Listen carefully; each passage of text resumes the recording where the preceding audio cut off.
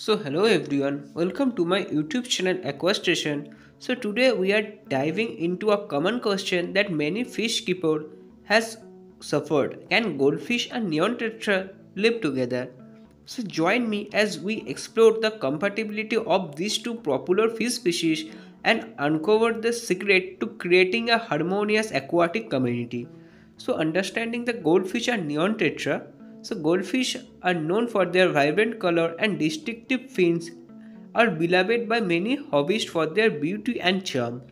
So neon tetra on the other hand are small schooling fish with iridescent blue and red stripe that captivate the eye. Both species have unique characteristics and requirements that must be considered when housing them together. Number first factor is the compatibility factor. So when it comes to keeping goldfish and neon tetra in the same aquarium, Several factors must be taken into account. So goldfish are cold water fish that produce a lot of waste while neon tetra tropical fish that prefer warmer temperature.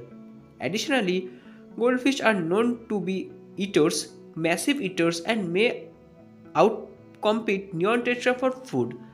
So question arrives can they live together? So when is technically possible to keep goldfish and neon tetra together in the same tank but it is not recommended due to their differing needs and behavior.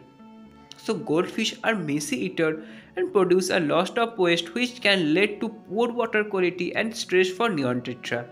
Additionally, goldfish may grow larger and become aggressive towards smaller tankmates like the neon tetra. So alternative option, if you are set on fish keeping, both goldfish and neon tetra in your aquarium, consider setting up a separate tanks for each species to ensure their individual needs are met. Alternatively, you can choose compatible tank mate for each species that share similar requirement and behavior.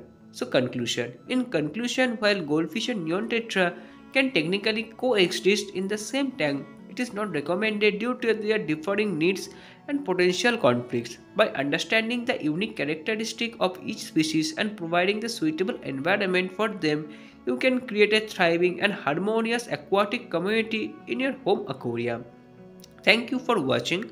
I hope you find this video informative and helpful in navigating the compatibility of goldfish and neon tetra in your aquarium. If you enjoyed this content, don't forget to like, share and subscribe for more tips and insight on fish keeping. Until next time, happy fish keeping.